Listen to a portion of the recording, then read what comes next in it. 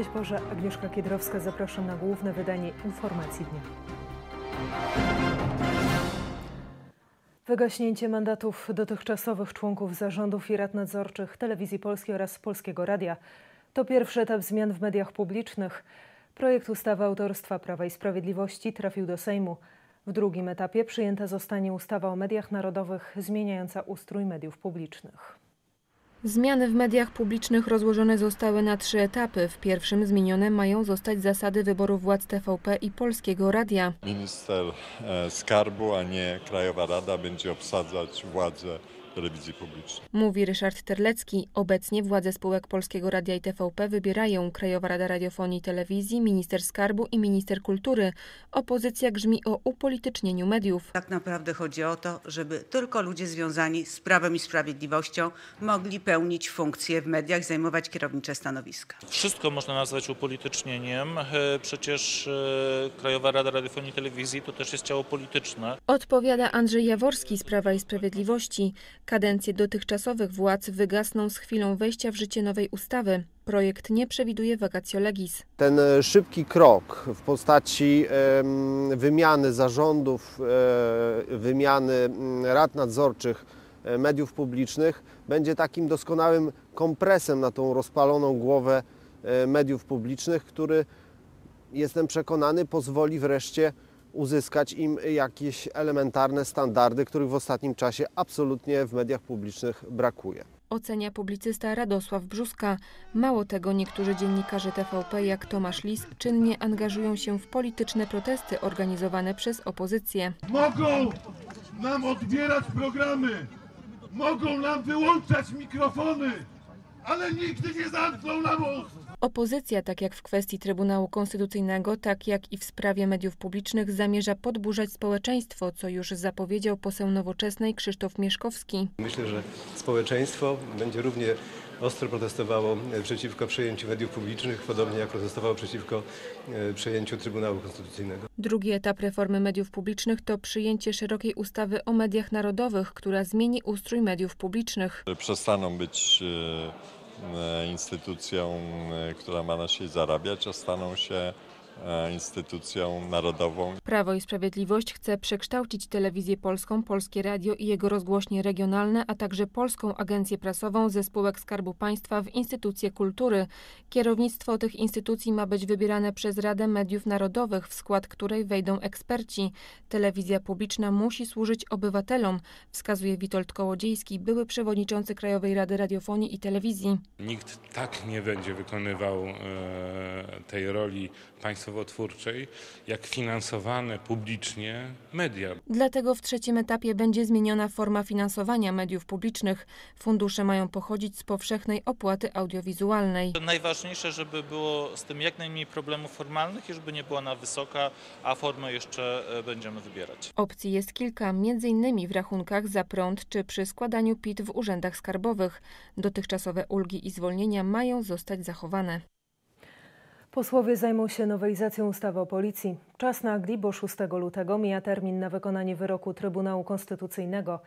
Nowe przepisy przewidują katalog przestępstw, w przypadku których można wnioskować o podsłuch oraz ograniczają czas jego stosowania do 18 miesięcy. Opozycja podnosi jednak larum i krzyczy o próbach inwigilacji Polaków.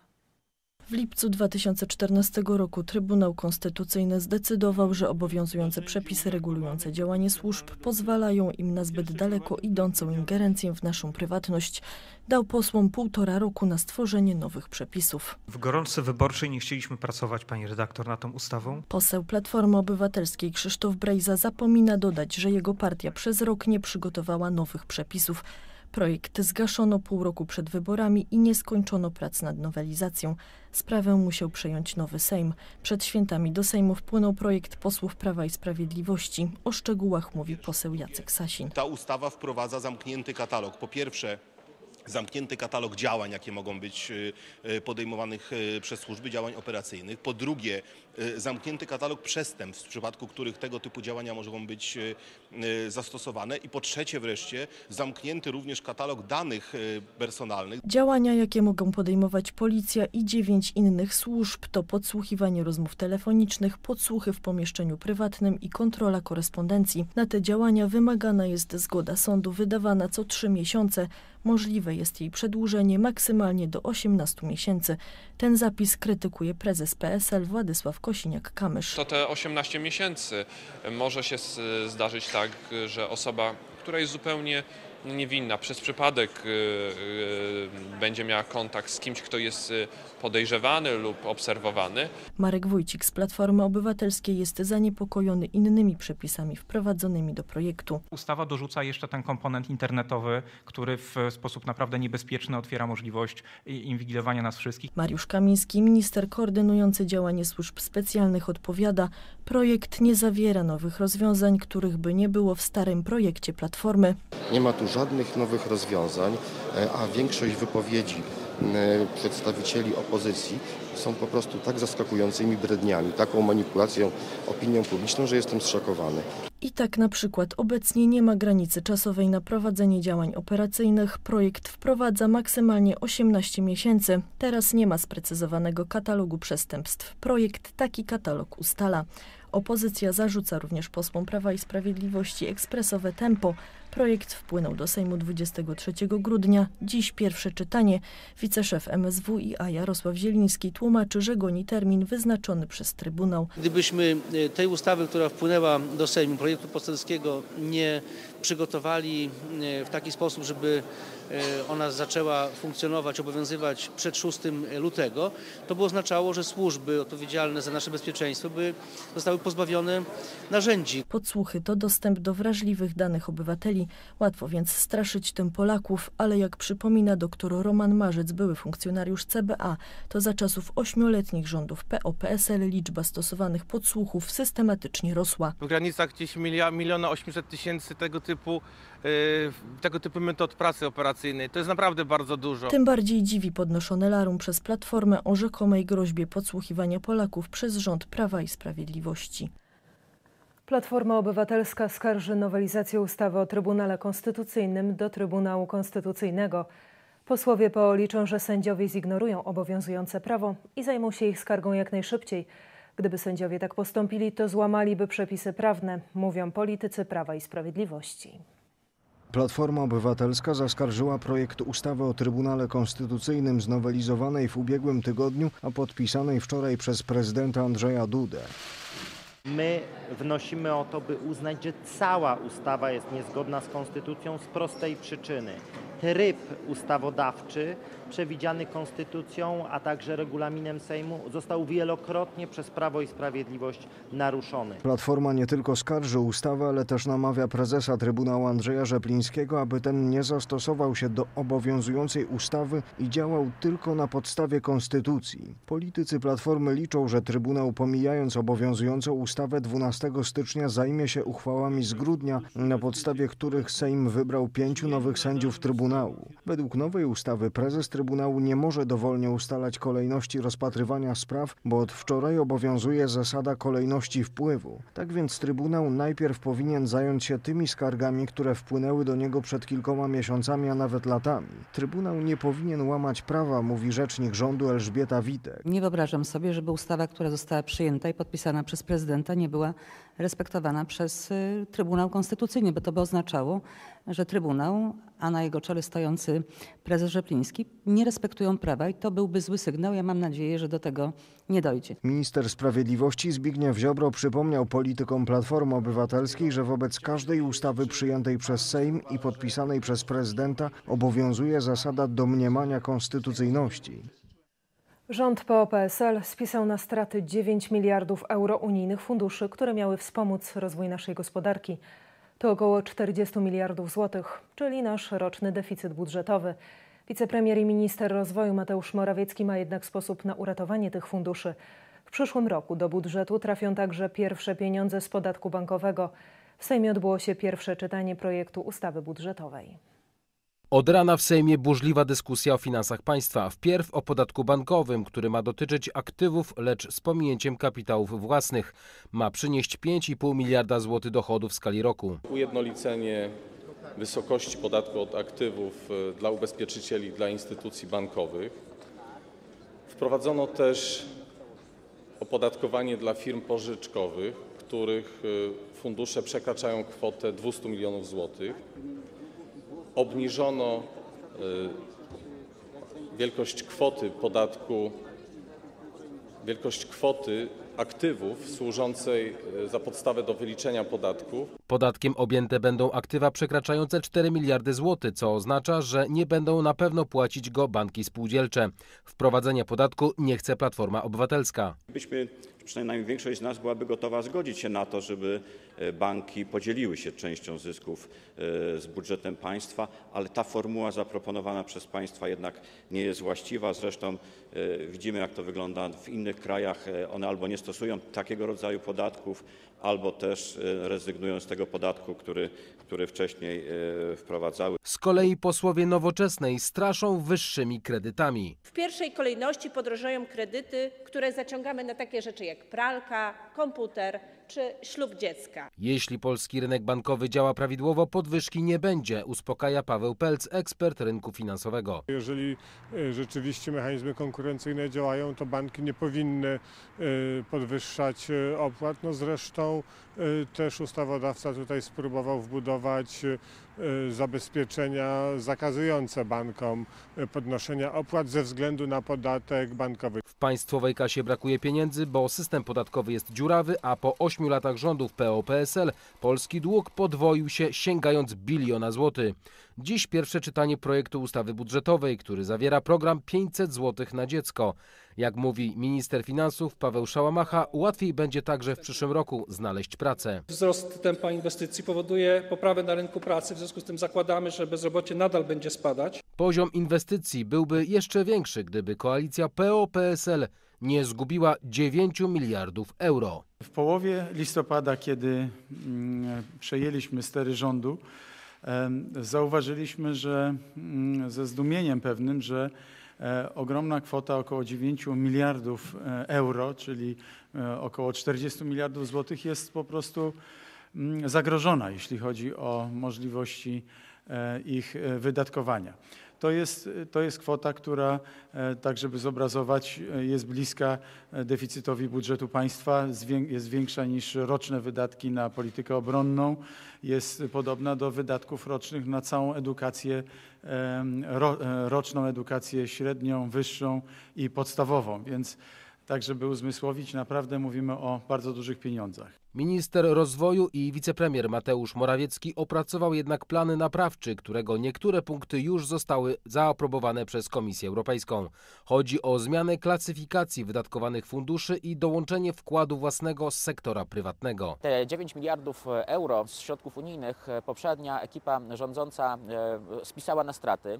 To dobrze, że się udało uratować akurat e, temu rządowi tę kwotę, bo to jest rzeczywiście duży zastrzyk e, dla gospodarki polskiej, zwłaszcza właśnie, że e, te środki będą przeznaczone na działania e, innowacyjne. W nowej perspektywie finansowej Polska otrzyma 82,5 miliarda euro z budżetu polityki spójności. Posłowie zajmowali się dziś projektem ustawy o systemie oświaty, który znosi obowiązek szkolny dla sześciolatków. Jego celem jest przywrócenie rodzicom prawa decydowania o edukacji swoich dzieci, mówią politycy PiSu. Platforma Obywatelska i Nowoczesna są przeciwne projektowi. Poprzedni rząd PO i PSL-u pozostawał głuchy na postulaty rodziców i nauczycieli. Przywrócenie obowiązku szkolnego dla siedmiolatków było jedną z obietnic rządu PiSu, którą posłowie zobowiązali się zająć w przeciągu pierwszych stu dni rządu. Tej zmiany oczekiwali nie tylko nauczyciele, ale również rodzice, powiedział dziś w Sejmie poseł Zbigniew Dolata. Przywracamy zasadę, że obowiązkowi szkolnemu podlegają dzieci siedmioletnie, a rodzice mogą zdecydować o wysłaniu do szkoły sześciolatka. Przeciwko zmianom jest Platforma Obywatelska i Nowoczesna. Nie wiadomo, jak nad projektem będzie głosowało Polskie Stronnictwo Ludowe. Poprzedni rząd PO i PSL-u z uporem forsował objęcie sześciolatków obowiązkiem szkolnym pod pretekstem wyrównania szans. Ja mam nadzieję, że Państwo zdajecie sobie sprawę, że tam, gdzie dzieci nie mają bodźców edukacyjnych, tam, gdzie dzieci e, wyrastają w środowisku wyjątkowo trudnym, to dla nich odsunięcie o jeden rok edukacji e, jest tak znaczące, że będzie być może ważyło na całym ich przyszłym życiu. Tymczasem prawdziwe intencje rządu PO-PSL były zupełnie inne. Prawdziwe intencje odkrył minister Boni, który stwierdził, że chodziło tylko o to, aby ratować system emerytalny. Szkoda, że działo się to kosztem dzieci. Klub Kukiz 15 zapowiedział wstrzymanie się od głosu. Belgijska policja aresztowała dwie osoby podejrzane o planowanie ataków w okresie Nowego Roku. Policja znalazła odzież militarną i materiały propagandowe tzw. Tak państwa islamskiego. Nie znaleziono broni czy materiałów wybuchowych. Do zatrzymań doszło w niedzielę i poniedziałek w różnych miejscach Belgii. Funkcjonariusze przeszukali domy w Brukseli i prowincji Brabancja Flamandzka oraz Liège na wschodzie kraju. Przesłuchano w sumie sześć osób, cztery z nich zwolniono, a dwie zatrzymano. Według prokuratury operacja nie była związana z listopadowymi atakami terrorystycznymi w Paryżu, w których zginęło 130 osób. Od czasu tych dramatycznych wydarzeń służby policyjne w Belgii są w stanie podwyższonej gotowości. Dwaj spośród paryskich zamachowców mieszkali w Belgii. Łącznie belgijska policja aresztowała dziewięć osób powiązanych z atakami we Francji. Były premier Izraela Ehud Olmert spędzi półtora roku w więzieniu. To ostateczny werdykt Sądu Najwyższego. Polityka skazano za korupcję. Ehud Olmert, szef rządu Izraela w latach 2006-2009 i burmistrz Jerozolimy w latach 1992-2003 będzie pierwszym premierem państwa żydowskiego, który trafi do zakładu karnego. Polityk został oskarżony i skazany za wzięcie łapówki. Sprawa dotyczyła pozwoleń na budowę jednego z luksusowych osiedli mieszkaniowych w zachodniej Jerozolimie. Ehud Olmert był wtedy burmistrzem tego miasta. Sąd Najwyższy Izraela zmniejszył wyrok pierwszej instancji z 6 lat do półtora roku więzienia. Były premier nie przyznaje się do winy. Nigdy nie zaproponowano mi łapówki. Nigdy jej nie przyjąłem, powtarzam to dzisiaj. Oczywiście zgodnie z moimi przekonaniami i stylem życia szanuję werdykt sędziów Sądu Najwyższego. Były premier Izraela trafi za kratki 15 lutego. Zaginął kolejny kapłan posługujący w Syrii, ojciec Dia Aziz. O tym zdarzeniu poinformowała franciszkańska kustodia Ziemi Świętej. Od prawie tygodnia nie ma żadnych wiadomości o Franciszkaninie, który był proboszczem parafii Jakubijach na północy Syrii, w pobliżu granicy syryjsko-tureckiej. Irakijczyk, ojciec Dia Aziz, odwiedzał swoich krewnych, którzy uciekli przed islamistami do Turcji. Następnie wracał do swojej syryjskiej parafii, ale do niej nie dotarł. Ostatni kontakt telefoniczny miano z nim tydzień temu w środę rano. Przypuszcza się, że zakonnik został uprowadzony. To kolejny kapłan, po którym ślad zaginął. Do tej pory nieznany jest los czterech katolickich księży. Oprócz tego ponad dwa lata temu porwano dwóch prawosławnych biskupów. W ciągu ostatnich czterech i pół roku w Syrii zaginęło w sumie 20 tysięcy osób. I tą wiadomością kończymy główne wydanie informacji dnia. Za chwilę prognoza pogody, a ja zapraszam Państwa ponownie po apelu jasnogórskim. Do zobaczenia.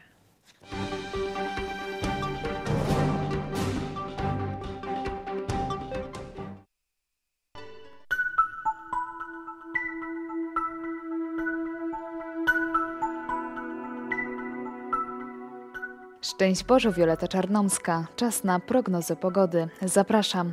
A na początek zerknijmy na mapę naszego kraju. Nocą na przeważającym obszarze Polski zachmurzenie będzie małe. Jedynie na krańcach wschodnich może pojawić się więcej chmur, z których spadnie śnieg. Temperatura powietrza mocno spadnie. Na termometrach zobaczymy od minus 2 stopni na zachodzie do minus 6 stopni na Podlasiu. A jutro? Będzie pogodnie, ale zimno. Przed południem zachmurzy się tylko na południowym wschodzie, a w Bieszczadach popruszy śnieg. Na pozostałym obszarze zachmurzenie małe lub bezchmurne niebo. Po południu bez zmian. Temperatura w dzień oscylować będzie w przedziale od minus 3 stopni na wschodzie do 1 stopnia na zachodzie. Jutro przewidziany jest spadek ciśnienia. Barometry w południe powinny wskazać 1041 hektopaskali. A na koniec zapraszam Państwa na więcej informacji czwartek nadal pogodnie, ale zimno. Na przeważającym obszarze kraju bezchmurnie lub zachmurzenie małe. Po południu bez większych zmian. Temperatura maksymalna od minus jednego w zachodnich regionach do minus 4, minus 6 stopni na wschodzie. W piątek na przeważającym obszarze kraju zachmurzenie małe lub bezchmurne niebo. Na zachodzie i Podlasiu zachmurzenie umiarkowane. W drugiej części dnia na zachodzie, Podlasiu i Polesiu zachmurzenie duże z przejaśnieniami. Miejscami może padać śnieg. Temperatura maksymalna od minus 2 stopni na zachodzie do minus 3, minus 4 stopni na wschodzie.